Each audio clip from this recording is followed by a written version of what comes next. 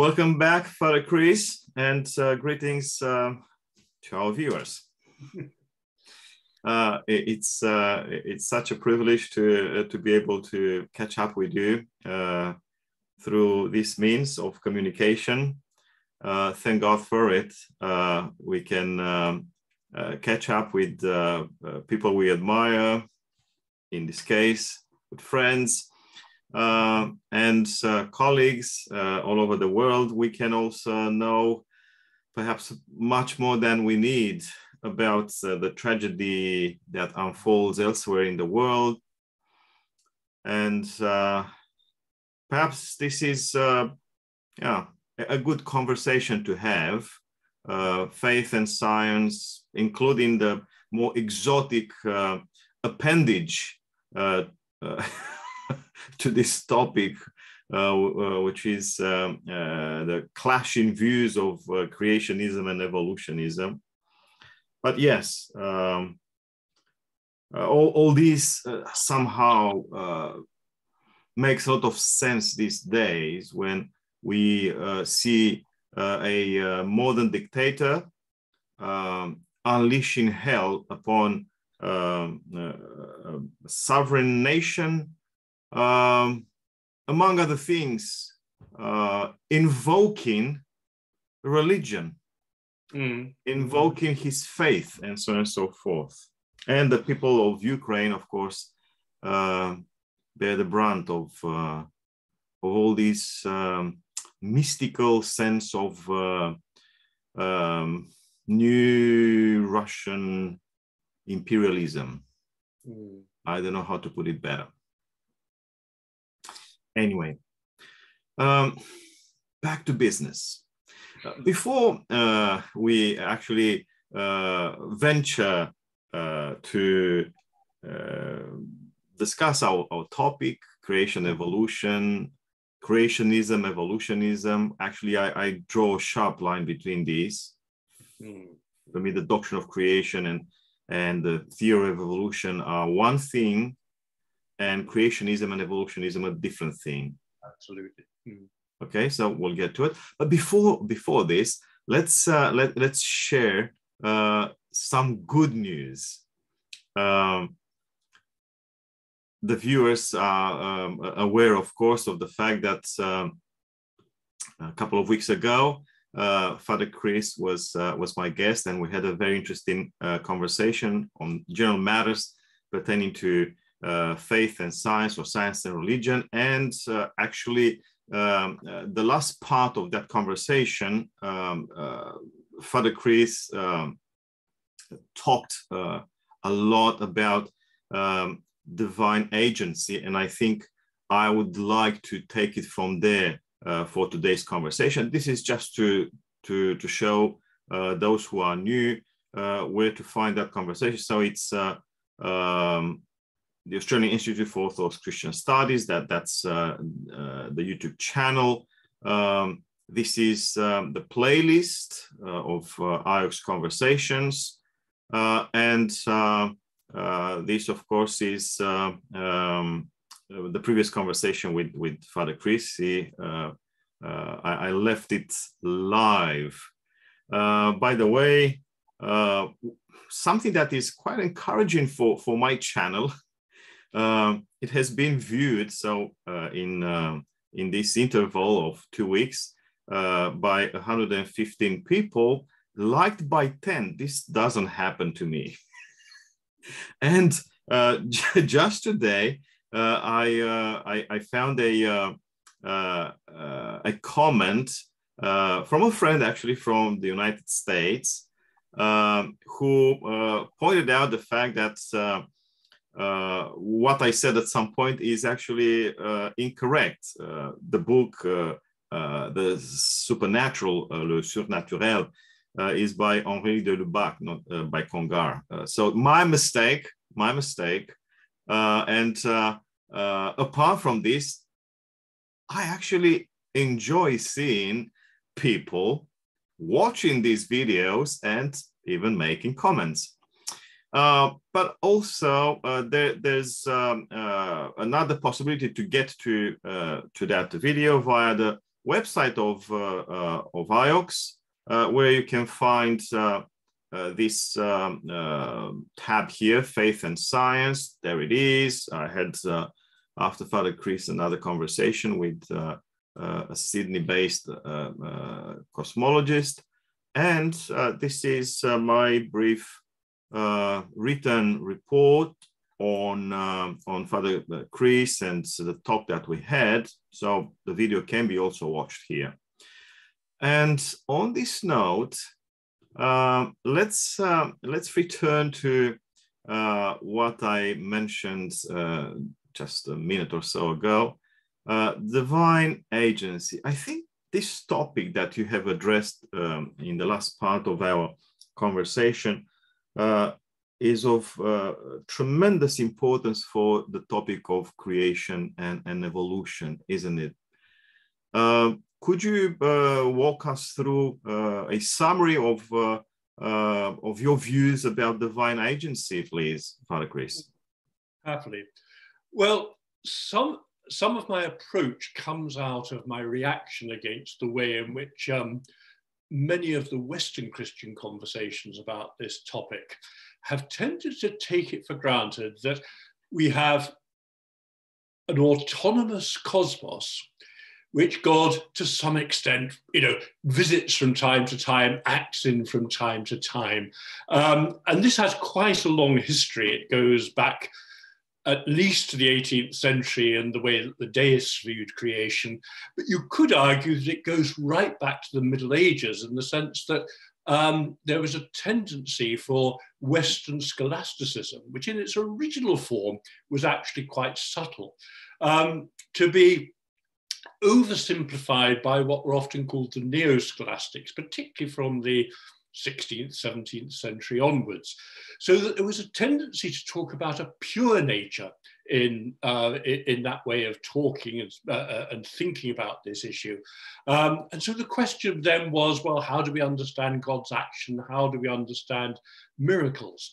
And what that meant was effectively that you had a picture of God's action, where he was completely outside of the creation and from time to time sort of zoomed in, so to speak, did something supernaturally, um, and then got out again, um, which may have been helpful at the time in helping people think through um, the reality of miracles and so on. But it actually went against something which is really quite fundamental to the Orthodox doctrine of creation, and which in fact has been rediscovered, at least to some extent, in modern Western Christian thinking. And this is the notion that to talk about God and the world as separated in that sort of way doesn't do justice to the reality, which we find particularly in the Orthodox Church, um, among our sort of classic theologians, in Maximus the Confessor, who talked about the way in which the Logos of God, the if you like, the logical principle of God, whom we see incarnate in Christ, is also, to some extent, to be seen in the way in which there is a logos, a word, a logical principle, a way of behaving, if you like, um, which belongs to every created thing. So in Maximus, that was expressed in terms of this distinction between the Logos, who we talk about as the second person of the Trinity, and the Logoi, the Logos, if you want to have a, an anglicizing of the, uh, of the plural, um, which we see in each created thing. And many of the modern commentators on, on Maximus have emphasized that for Maximus, all of those logoi of created things participate in some sense in the divine logos himself. So what you actually have there is a picture not of God who is separated from the creation, but God who is at the heart of every created thing. Um, and much later in St. Gregory Palamas, you have a distinction between the divine essence, the ousia, um, which as human beings, we can never know, we can never participate in. So that stops us having a, a, sort of pantheistic picture. God, there is that in God which is utterly beyond uh, the creation and created things. But there's also what St. Gregory called the divine energies, which again uh, permeate the creation um, and again make every created thing um, at least potentially a sort of sacramental presence of God in the creation. So if you put those two together, what you have in the orthodox doctrine of creation, and they're not, uh, they're not competing, they are in fact complementary understandings. You have a picture of God, who is at the heart of all created things, at the heart of all processes in the created order. And what you get in terms of the way in which we think about divine action from that is a very interesting, at least to me, um, understanding in which we can actually rethink what we think by naturalism, because naturalism is usually understood in, in terms of that which is, you know, it's rather like a clockwork process. It's, um, I mentioned last time, the deistic understanding of the 18th century, in which you had a picture of the creation, which is rather like a clock, which simply had a mechanical way of doing things. And if the clockmaker had anything to do with the clock after he had made it, it was to come in occasionally, perhaps clean it up a bit, um, adjust it, or whatever. But where the creator had no real connection other than that sort of action um, with the creation, whereas the orthodox understanding and the understanding which has begun to develop again in the West is one in which God is at the heart of all creative processes. So that's the background to my thinking about this.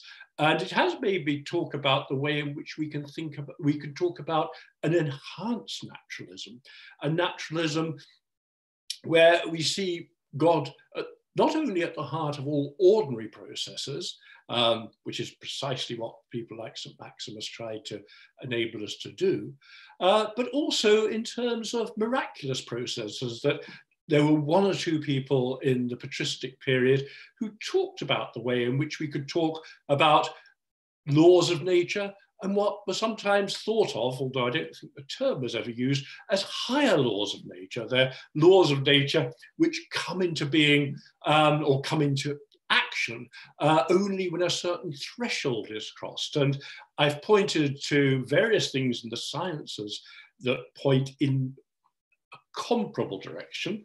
Um, there's a sense, for example, um, in what physicists uh, talk about as superconductivity. Normal metals, materials, um, conduct electricity in a really quite well-defined way. I mean, many of your listeners will remember at school talking about Ohm's law, where you have a resistance um, and you need a certain applied voltage to get a certain current going through it and so on. But the interesting thing at the beginning of the 20th century was that they discovered a few materials, and you know this um, set of materials as we know them are growing, where if you take the temperature down below a certain threshold temperature, suddenly, because you've passed that threshold, the material behaves in a very, very different way. Um, it effectively becomes superconducting in the sense that resistance completely disappears. So there's a change of what is called regime. Um, or at least what some scientists call a change of regime. And it's not that the laws of nature have suddenly changed or whatever, it's that the way the laws of nature work in those particular materials is such that once a particular threshold is passed, um, new properties become accessible, if you like. Now, I've used that as one analogy for the way in which the miraculous can actually work, um, that we can see if you like, higher laws of nature, a little bit like regime change in this way. Something happens when a certain threshold is passed. And I've seen this threshold very much in terms of the human response to God.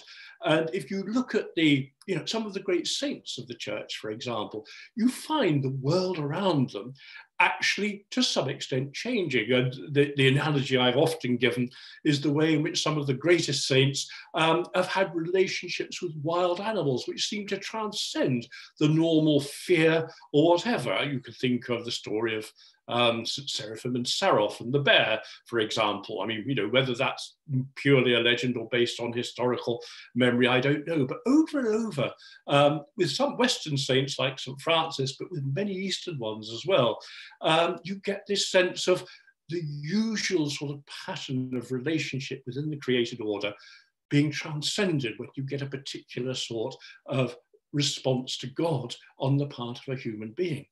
Um, and what I've spoken about in relation to that is the way in which what we can see happening there and I take, you know, that picture in the book of Isaiah about, you know, the, the leopard lying down with the lamb and so on, is the idea that in such to some extent, we can see the miraculous as an anticipation of the world to come. Um, and it happens at least partly, perhaps completely, in terms of the way in which the universe changes when a certain degree of sanctity and response to God actually comes out in a particular human being, so the world around them to some extent changes. So that's the general background to the way I've been thinking, the way I see in certain aspects of physics this notion of regime change, the way in which some in the patristic era seem to be pointing towards what we might call higher laws of nature, which aren't usually operative or at least effective, but which come into sort of um, come into operation when a certain threshold is crossed. And that threshold I see at least partly as being crossed because there is an anticipation of the world to come. So that we have this sense that the world in which we live, we call it the natural world, but I've pointed out the way in which particularly um, theolo modern theologians like Panayotis Nellas have talked about the way in which the world that we experience normally from day to day is in fact unnatural. Now, I prefer to use the word subnatural because it emphasizes that it's not completely separated from the truly natural world, but the truly natural world is the world for which we were made. It's the world that's talked about in um, the biblical texts of uh, paradise, the Garden of Eden, and so on. It's talked about very largely in the New Testament in terms of the new creation.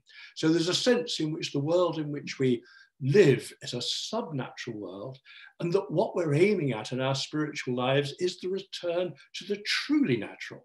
So that affects my way of talking about naturalism. Um, and it seems to me that has lots of um, knock on effects. In the West, for example, there's been a lot of talk for several generations about what's often called the problem of natural evil. And the question that's been asked is how is a world that God saw as good, according to the book of Genesis, be one in which, in fact, there's so much natural misery, not just misery due to the misuse of human free will, but you know um, the fact that uh, if I go to certain parts of the world, Australia is one of them. You know, I'm told that well, there was a you know the shark who attacks the swimmer, the spider that's utterly poisonous. Um, it's not so much the case in this country, which is why perhaps I suspect in Britain we tend to be a little bit more romantic about the natural world because by and large the natural world, although it rains a lot of the time, is actually pretty good to us, um, whereas it's not necessarily true elsewhere. And that natural world, if we regard it as subnatural, tends to take away from that problem of natural evil because, and precisely because, it's not the truly natural world that God saw as good when it was created. The truly natural world is the world to which we're heading. Uh, it's the kingdom of God about which we talk, and it's the paradise um, about which the book of Genesis talks. Now we can talk, you know, we can argue about whether our understanding of the fall and the expulsion for paradise actually fits in with modern scientific understanding, and that we can perhaps talk about in a few minutes.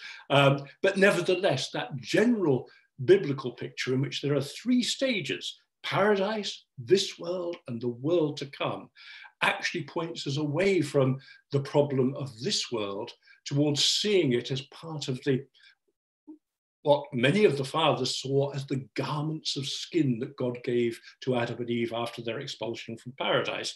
The garments of skin are, as Panayotis Nellas puts it, such that the way in which the world now operates um, is in some sense disordered and draws human beings into anguish and, uh, and pain. So um, that's the general background, at least, to the way I, I think about divine action it's uh, quite uh, useful. Thank you very much. There are a few uh, uh points I would like to, to make in, in regard to uh, what you just said, Father Chris. Mm. Um, the, the, schema that uh, we draw on the scriptures, um, the paradisal um, stage of of the creation and then um, uh, our subnatural i like the uh, the word uh, state of things um, uh, in this current uh, uh, stage and and the age to come of we call it we call it perfection you know um, the fulfillment of, of god's plan in regard to the universe.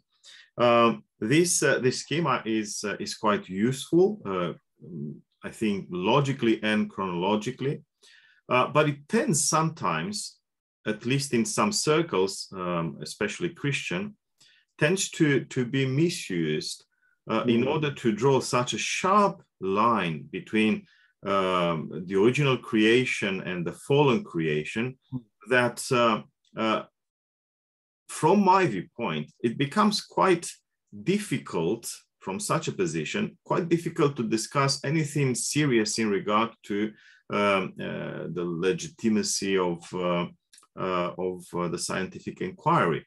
But mm-hmm. I'll, I'll, turn to it uh, in, a minute, perhaps. And uh, because you mentioned quite a few times certain um, fathers of the early church who actually seem to have a very different understanding of nature, uh, of mm-hmm. God's creation um, uh, from uh, the usual, let's call it popular Christian uh, uh, view. Uh, I'd like to, to point out to the case of St. Simeon the theologian. Mm. so at the end of the 10th century, um, first half of the 11th, one of the greatest um, Byzantine mystics and theologians, uh, who actually had a view of, uh, of creation that is a bit non-standard. So uh, yes, uh, he worked with the same scriptural material, um, original creation, fallen creation, and the future glory, but uh, with, a, with a twist. Uh, I, I would like to refer to a work by him known as the First Ethical Discourse. It's available in English, um, uh, translated by uh, now uh, Archbishop Alexander Golitzin. Mm -hmm. and uh, in that first ethical discourse, uh, Saint Simeon comes up with with something that at least that's how I read it. Maybe other people would read those passages differently, but that's how I read it. He would refer to let's call it the original or the first creation uh, as an anticipation mm, mm. of the end times, which mm. isn't a novel idea. So Simeon, Simeon uh, lives uh, at the end of, uh, uh, of the 10th century, uh, early 11th. but the same idea was actually articulated in, in a variety of ways in the very early centuries of Christianity. Perhaps the classical articulation of this approach is found in um, St. Basil the Great's um, uh, famous homilies uh, on the Hexaemeron. I don't remember now which homily, but I have written on, on this. Um, he gives a very interesting uh, interpretation to the first line of Genesis. Hmm. Uh, for him, uh, in the beginning, God made uh, heaven and earth, or the heavens and the earth. Uh, uh, is actually a prophecy of the future. Mm. And, and, and, this, this places the whole discussion on very different uh, parameters. Uh, and instead of drawing that sharp line that actually um, bars any uh, serious conversation between uh, uh, certain Christian believers and the world of science, um, that line disappears. Why? Mm. Because uh, instead of uh, having to to grapple with um, a fallen world, so mm. subnatural sounds far better. Mm-hmm. So a world that is still mm. progressing towards uh, uh its finality, uh, that sounds much better mm-hmm. than the idea of a radically fallen world whose laws are so unnatural. mm, that, mm. that sci- what, what the science is actually uh, uh, research these days is just mm. a uh, I don't know um, it's it's not nature mm. which is which is of course something that um, um, uh, when, a scientist hears this this kind of discourse, um, Mm. uh, the scientist, of course, is disgusted and so, okay, so uh, what, what are you telling me here? And this is so important. This is why it's so important uh, what you, you mentioned uh, a couple of times that in reality, uh, the early Christian discourse, the discourse of, uh, uh, of many church fathers, even in the medieval uh, times, um, did not uh, bypass the idea of nature. Actually, these Mm. people dealt with nature, but they dealt it in, in, in a way uh, Mm. that you can call it, um, uh, let's say, uh, in, in modern parlance, uh, theistic. So, uh, Mm. nature, uh, a richer nature, a richer concept of nature, which is open to God and behaves strangely, as you said, with Mm. those shifts of what was that regime? Yeah. Mm. Uh, okay. Uh, where where where nature behaves differently, but this isn't because the laws of nature are suspended or blown up by the divine intervention. It, it, it's because uh, in reality they, they seem to be, to, to go with Simeon and St. Basil, uh, like an anticipation of the, the eschatological laws of creation. And. I think if we if we uh, discuss in, in, in this way, uh, uh, from the outset, the presuppositions of any conflict between uh, our Christian doctrine of creation and uh, the theory of evolution, uh, broadly understood as cosmic evolution, not only biological evolution, um, uh, these presuppositions disappear. What do you reckon? I think that's right. I think it's important to recognize, as you've rightly said, there's a number of people in the patristic era when they talked about paradise of this world and the world to come, they didn't necessarily see them straightforwardly um, as a sequence. Um, and there was uh, a, a, an extent to which they saw the story of paradise as an anticipation um, or prediction almost of the world to come. In somebody like St. Maximus, um, as I understand it, for instance, he, he sees um, he sees creation and fall as simultaneous. So, in fact, paradise becomes purely a sort of theoretical thing that might have existed, but in practice didn't. Um, and in the background to that, I there is something I think in that patristic understanding. It comes out of the speculations of Origen, uh, who was an early Christian philosopher who was widely regarded as being a little bit over speculative. But nevertheless, it has an effect on the way in which people thought about those particular issues. And some modern Orthodox theologians, um, Sergius Bulgakov, for example, talked about the way in which we shouldn't see the paradise story as a historical story. It is, as he put it, a meta historical story. Um, and there are others who have talked about the way in which, if we're to talk about the fall, it's not a fall within this world, it's a fall into um, what you, you know, a space-time universe. So there are all sorts of major issues around um, that particular question. And it's important, as you rightly say, to recognize that we don't have to read paradise as something that must have happened in this world, and then we got then we got expelled from paradise as a historical thing. It's a theological pointer to the way in which what we're made for ultimately is not this world, despite the fact that this world, you know, has its sacramental aspects. We can see God working in and through it, but ultimately this world exists precisely as the world through which we are drawn towards the world to come. Um, and that is the important thing. So this word is one of the reasons I prefer the word subnatural to unnatural, because it's not saying this world has nothing to do with the natural world um, that God intends. It's rather to say um, that there are aspects of it which are to some extent disordered, and therefore all those things which come under the heading of the problem of natural evil actually get worked out within that context in a way which is actually quite rare in Western Christian thinking about that issue. Um, so that's an important thing, I think, in relation to this, so that we can talk about, you know, what some of the fathers talk about as the garments of skin in which we're clothed, which are, are, what is necessary for us to survive in this world, and which also are part of God's um, gift to us, if you like. I mean, again, Panagiotis Nellas um, talks about it as uh, a second blessing to a self-exiled humanity so that the world in which we live is still a blessing. It's not completely removed from the natural world ultimately intended by god.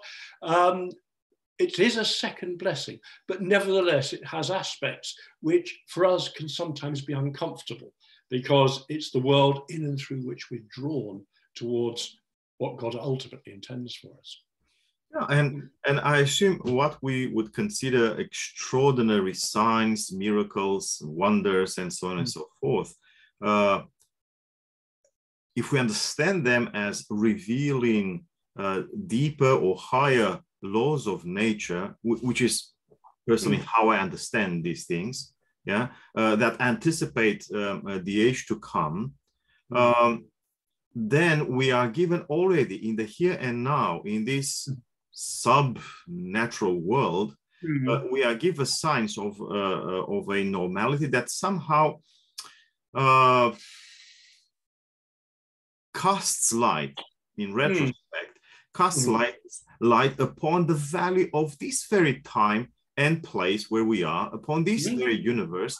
And um, uh, we shouldn't discard at all the idea of, uh, of a nature that uh, requires uh, our uh, research, as Father um, uh, John Meyendorff put it in, in his book, uh, The uh, Byzantine Theology, mm-hmm. um, but also a world that uh, should be seen through a sacramental lens, as you rightly put it.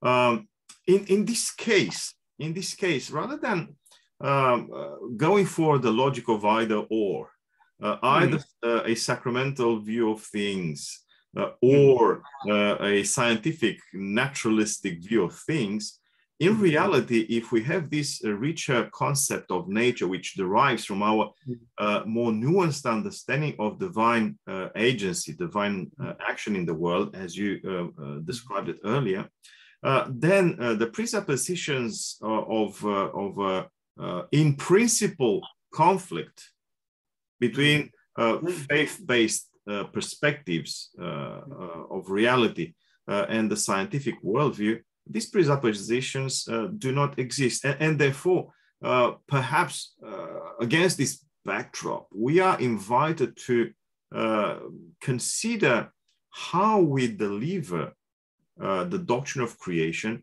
uh, mm. in uh, this age of science and technology rather than uh, simply parroting or quoting um, uh, old patristic stances or biblical for that matter, um, we uh, draw on the spirit uh, of that uh, traditional view of things, uh, but implement that spirit into the very flesh of our scientific culture.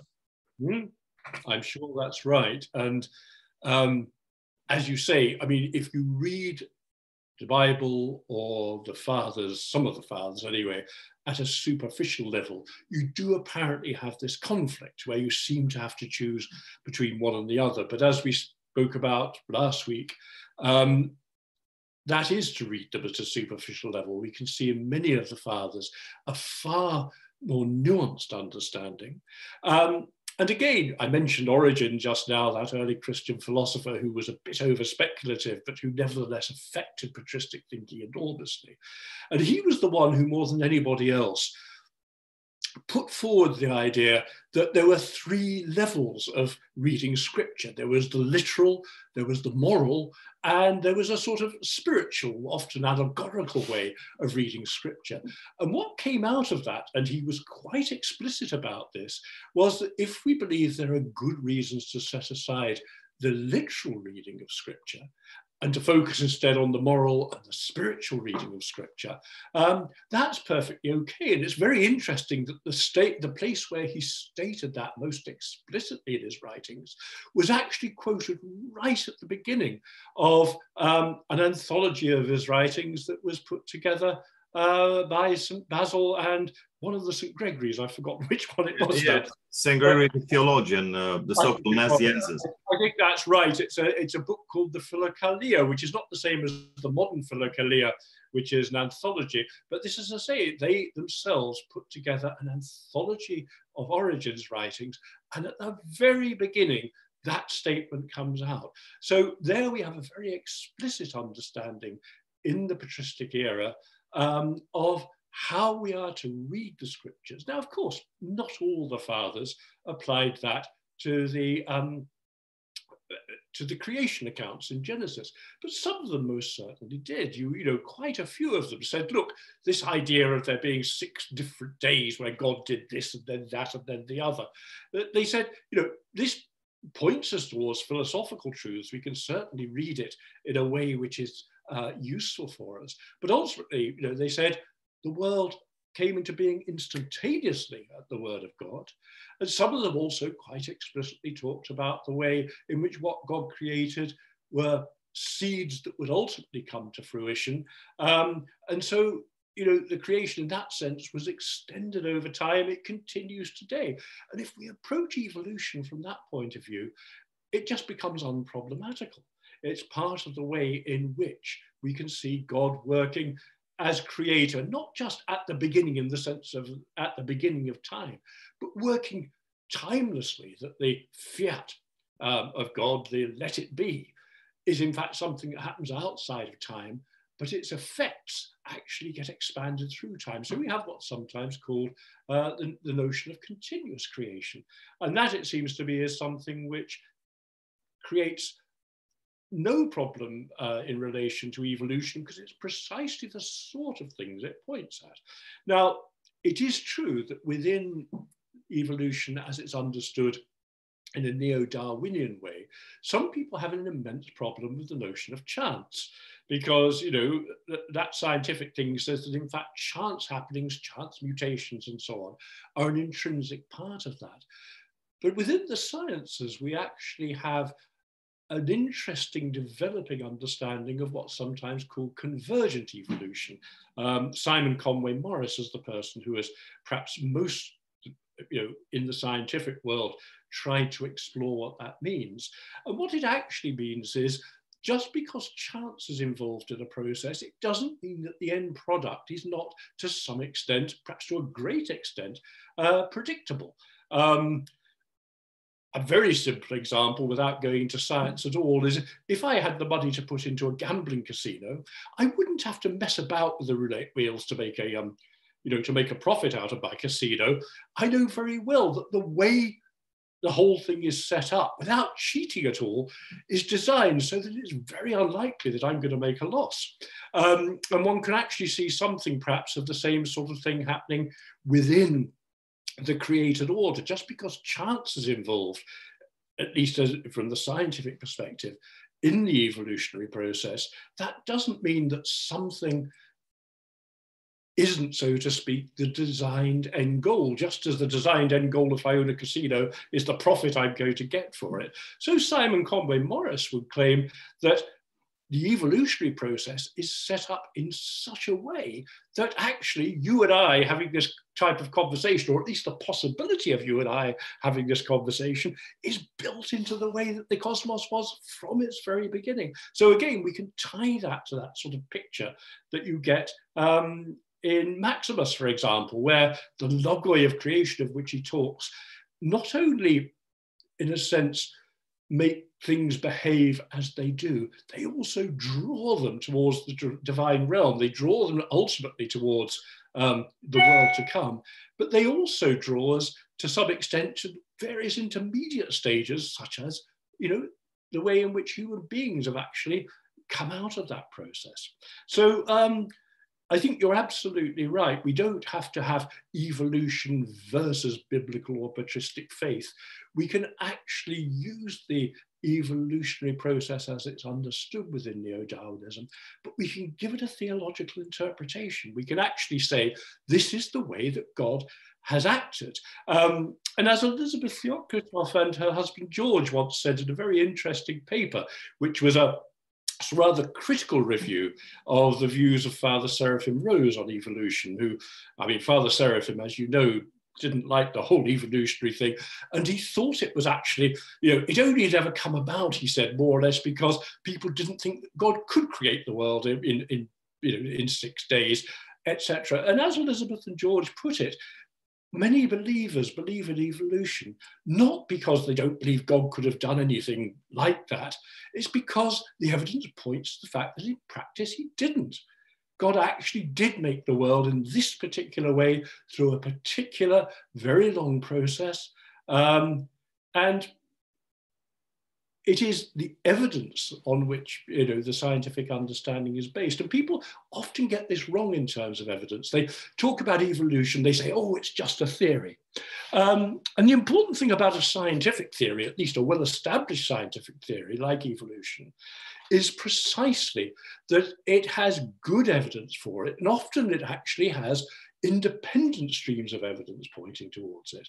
If you look at how Darwin first thought about evolution, he thought about it, he came to the idea largely because he could see the way in which quite closely related species and subspecies were related to each other. He could also see things in animal breeding, in farming, for example, which pointed in a, in a, in a similar suggestion, uh, direction. But he didn't, for example, know anything about genes. Genetic understanding actually came a little bit later, largely through a Roman Catholic priest, interestingly. Again, it wasn't a sort of secular anti-religious thing. Um, but that genetic understanding, even when it reinforced the sorts of things that Darwin had said, we still didn't really know how genes worked. But by the time in the mid 20th century, we understood the structure of DNA.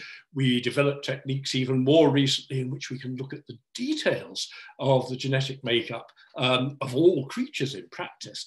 Then what you actually have is you know, independent streams of evidence all pointing towards the validity of what we now call the neo-Darwinian synthesis. Because of course, we don't think about the whole evolutionary process exactly as Darwin did, because we now know more. We now know about the genetic process. We now know about the chemical basis to that sort of process of genetic selection and so on.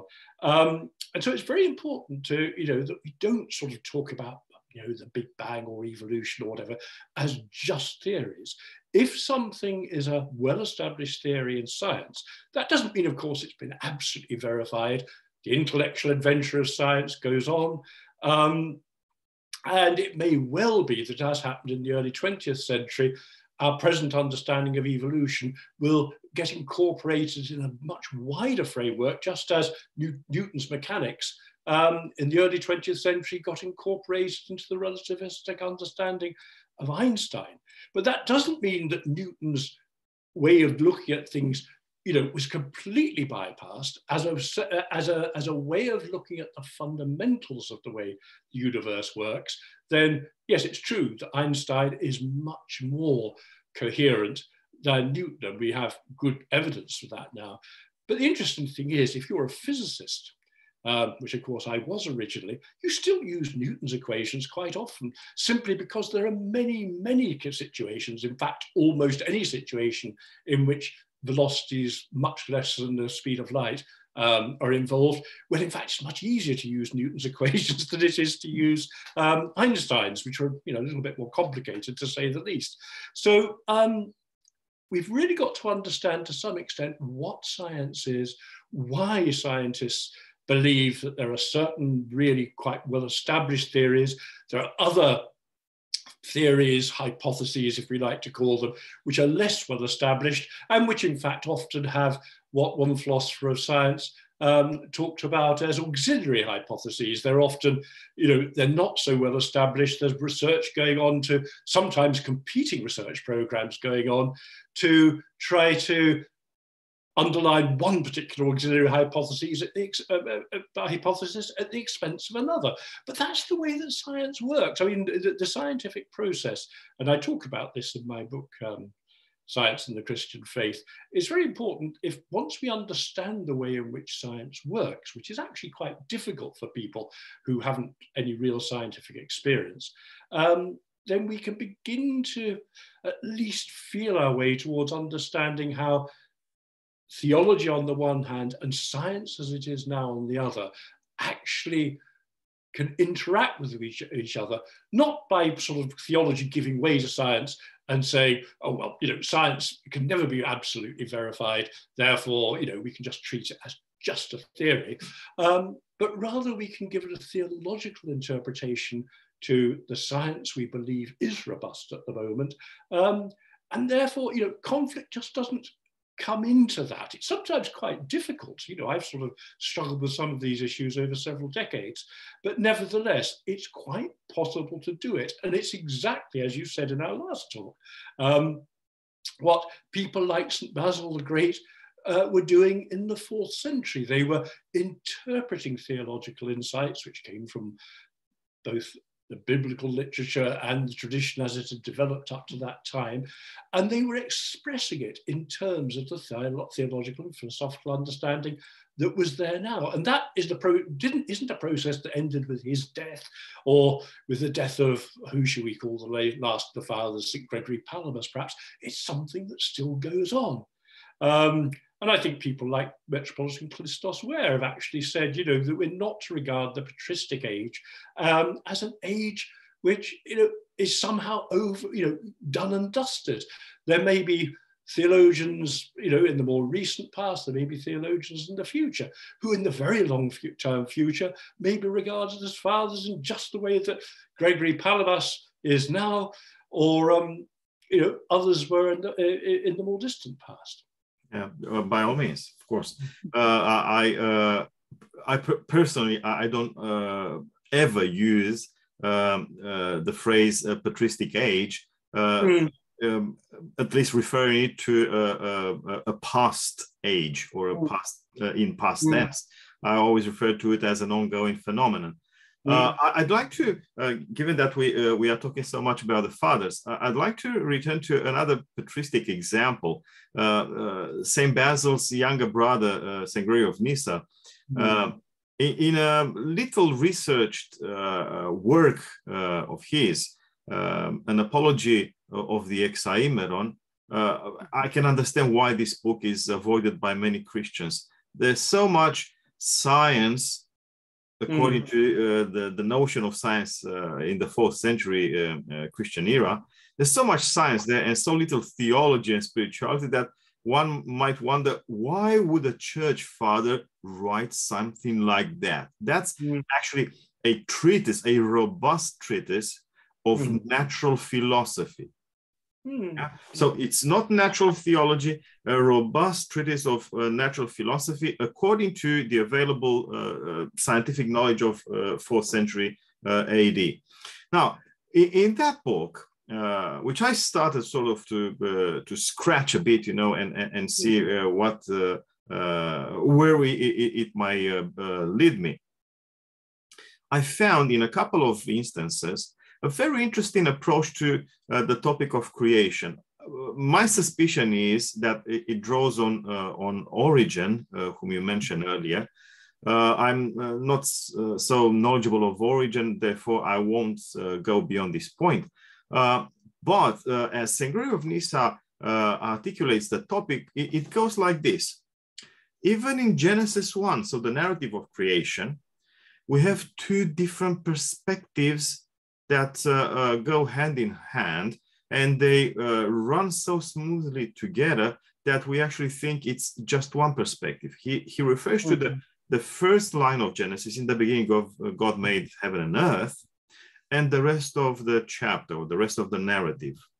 He observes a big difference. On the one hand, the first line of Genesis uh, articulates something that might look like a divine viewpoint, Mm. all things are mentioned together in summary. Mm. In summary, he actually mm. um, um, uh, plays around the first phrase in, in the uh, Greek uh, uh Septuagint, the, the Greek translation of, uh, of Genesis. Uh, and, and he uses alternatively en archi in the beginning and en kephaleo, which is a, a, another translation from the third century um, hmm. um, uh, a translation made by uh, uh, um, Aquila, I think, a, um, Hellenistic Jew. Uh, and uh, he he uses these two uh, two phrases, and he says, well, in the beginning or in summary, enkephaleo meaning in summary, yeah, God made heaven and earth, and that's the divine vantage point. And from the divine vantage point, the entire creation is this. Yep. Yep. Yep. It comes out in one go, fully, from beginning to end. Mm. But then in the rest of the narrative, we have a human perspective, Gregory says. But that, that's amazing. Mm. Because we people can't get uh, the whole knowledge of the universe in one go. We are Mm. told about it well, with the means of uh, 3,000 years, uh, uh, whatever uh, ago, you know, the cultural means of that age. Uh, we are told uh, sequentially, Mm. we are uh, given uh, insights into the mystery of creation, you know, in stages, because that's how our mind works Mm. we work sequentially. So, and this is a gradual process that, as you said, actually unfolds. Our process of understanding the creation, uh, Mm. God's uh, uh, made, uh, or the God made, uh, God given universe.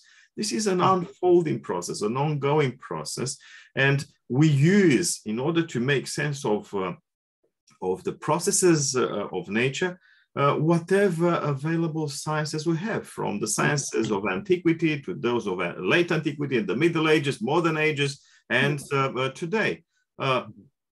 But Gregory says that these two perspectives do not collide and do not Mhm. cancel each other. They are two different perspectives.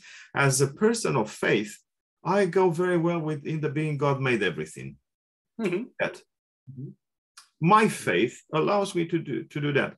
But I'm also a man of this age and of this culture, and I go for the human perspective, to use Gregory's um, uh, term, uh, the human perspective, uh, which requires a gradual unveiling of things via, in our case, in the case of uh, contemporary uh, scientific culture, um, of research and um, analysis and experiment and theorization and verification and confirmation or denial uh, of whatever we have found out. So that's, I think, a very important uh, topic. Uh, and uh, as uh, St. Gregory, many others like him did not see any uh, kind of conflict between uh, a faith-based perspective, which is, in his words, divine perspective of things, uh, and the human perspective, which draws on uh, the insights of uh, the natural sciences, uh, whatever sciences are available uh, at this age or that age. Now, going back to uh, Nellas, uh, whom you mentioned a few times, I think he captured uh, beautifully uh, this patristic wisdom when he said, and by the way, I cons- consider Nellas uh, a, a church father of our age. Uh, He's certainly a very significant writer. There's no doubt about that. Uh, and uh, uh, Nellas uh, had this uh, beautiful analogy of an icon. Look at the icon, and we have some icons here. Okay. Look at an icon, and uh, you have uh, uh, a scientist and a believer. Um, perhaps the same person sometimes, like in your case and many other cases. A scientist and the believer, or both scientist and believer. Now, the scientist in you, when uh, uh, when he or she looks at uh, the icon, um, begins with uh, what uh, the scientific method requires. Okay, so this is the object. Let's measure the object. Let's see, is it um, uh, cardboard or is it wood or is it marble? Um, what kind of wood it is? Uh, let's make the, the, the, chemical analysis of, of that material. Ah, uh, cedar or whatever, uh, eucalyptus or whatever, you know, and uh, going beyond this, you know, uh, the paint, uh, is it true paint or natural paint or artificially made um, whatever device stuff mm. and so on. As an artist, you would say, ah, proportion and beauty and so on. Nella says nothing of, of this kind of analysis of what the, the icon is made of, uh, uh, what the, the paint is made of, and so on and so forth. Nothing of this had, uh, has any impact on my faith. But when I look at the same icon uh, with the eyes of a, of a believer, what I see there is, uh, as we know, uh, as we keep saying in the Orthodox tradition, a window towards uh, the other side of things, the other side of reality. I see the image of a person, uh, and this image, like a photography, you know, mm-hmm. uh, reminds me of the real person that actually lived or lives, uh, is in heaven, and and so on and so forth. And uh, the icon challenges me to establish a connection, send an SMS, uh, say a prayer, whatever, you know, mm-hmm. stuff like. And, and, and Nella says, well, when I approach the icon uh, in this way as a believer, again, this has no impact on the mm. scientific mm. analogy or, or, or, analysis of the object. In other words, we have two perspectives on the same uh, uh object, the icon. Mm-hmm. The way for Gregory of Nyssa, there are two perspectives on the universe, one divine and, mm-hmm. and one human. And mm. uh, rather than uh, trying to uh, oppose uh, creation and evolution in the mm. warfare of creationism and evolutionism, the two mm. ideologies of our time, um, we can uh, understand uh, with um, uh, the wisdom of our tradition or through the eyes of, uh, of uh, the fathers and the mothers of uh, ancient times and the Middle Ages and closer to us, we can understand the universe as mystery, life as mystery. And this is why I love so much your sacramental perspective, because when, when we say a sacramental approach to nature, this mm. means we acknowledge its mystery and the mystery mm-hmm. cannot be smashed into pieces by way of, I don't know what, uh, um, a doctrinal statement or uh, scientific analogy. The mystery is revered, is considered uh, or circumscribed from a number of perspectives, and, no perspective uh, is uh, uh, of the of the book or whatever it's it's called. Of the you know, um, um, we use all the tools that we have in order to consider the mystery uh, would this um, fit well uh, uh, in, in, your schema of things? would this perspective um, coincide or converge towards what you say? It would. I think the icon is an interesting one, though, because in a sense, the you know the wood, the paint, the way it's been you know uh, set up, so to speak, by uh, by the icon painter or writer, um, is the means through which the icon becomes what it is when it's looked at with the eyes of faith. Um, and you'll remember the way in which uh, St. John of Damascus, for example, actually saw that as pointing, uh, in his defense of icons, this was actually pointing towards an incarnation or sacramental understanding of precisely those things which the scientist might immediately see. Um, that, in, as he said, you know, as John Damascus put, put, puts it, you know, it is through matter that my salvation was brought was brought about. So to see things in those two ways. The trouble is, if you just do, you know do it completely differently, the thing is that any real scientist, even one who doesn't have a particular religious faith, would, would automatically, simply because they're human, have a recognition that it's not just a piece of wood with some pigment on the front, that you know, that it, at least for some people has a specific meaning. Um, even if they can't get hold of that meaning, they will have a sense of its beauty. And this takes us back to something we mentioned very briefly um, in the last broadcast, which was the whole notion of natural contemplation. That um, again you get in the patristic era and it it comes out in, uh, in, into the modern world in various ways. Um, bruce Foltz for example talks about it in relation to ecological issues. Um, in the west it's not unknown because uh, thomas merton in particular has sort of picked this up and had a very interesting effect on the way that western spirituality has developed um, in the 20th century and early 21st centuries. That you contemplate the natural and we can go deeper and deeper into that contemplation. But the interesting thing is about um, the way in which that theology, uh, that sort of contemplation of nature, it didn't necessarily bypass scientific understanding. Um, it was actually seen as partly, mostly perhaps related to a sort of noetic perception, a perception which is ultimately intuitive rather than analytical.